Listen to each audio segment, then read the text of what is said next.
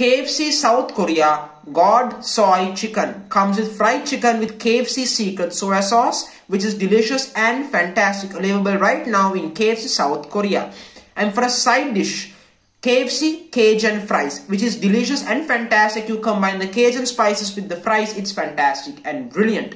And then of course for a dessert, a chocolate tart. How can you go wrong with a chocolate tart for a dessert? And for a drink, iced choco drink which is virtually a sweetened iced chocolate drink pretty much.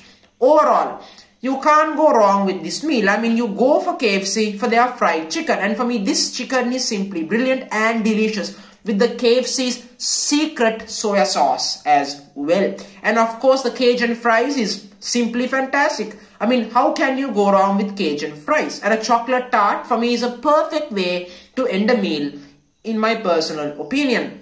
And of course, the iced choco drink is also a delicious way as well. So thank you very much for joining me on this show.